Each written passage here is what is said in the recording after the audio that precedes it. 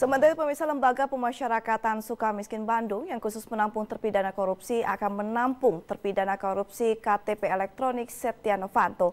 Namun tidak ada persiapan khusus dari Lapas Sukamiskin lantaran hingga kini belum ada kejelasan dari eksekutor tentang penempatan penahanan Setia Novanto. Rencana penempatan terpidana kasus korupsi KTP elektronik Setia Novanto ke Lapas Sukamiskin Bandung belum dipastikan Kepala Lapas Sukamiskin Wahid Hussein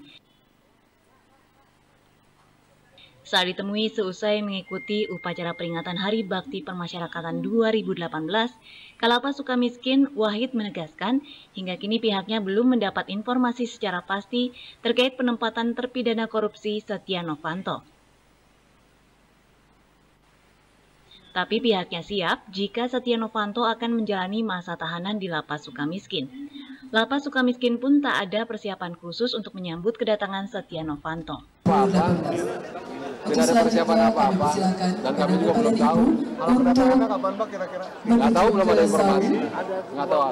Kita melanjutkan acara syukur. Demikian kami tutup.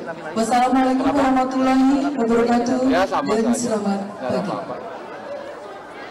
Tapi udah ada ada komunikasi Pak bahwa saya akan di lapas. Belum, belum, belum tidak ada. Tidak ada komunikasi, tidak ada komunikasi apa pun. Lembaga Permasyarakatan Sukamiskin Bandung memang dikenal sebagai lapas khusus penampung terpidana kasus korupsi.